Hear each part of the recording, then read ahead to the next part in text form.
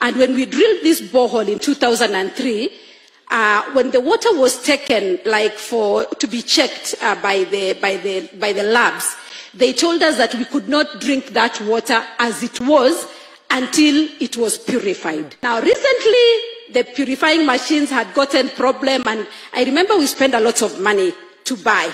Now, I kept wondering, am I worthy to do what Elisha did, just to go pray for this water? I went to the kitchen, took a bowl, put salt, and went to the borehole. And I went and decreed the words of Elisha.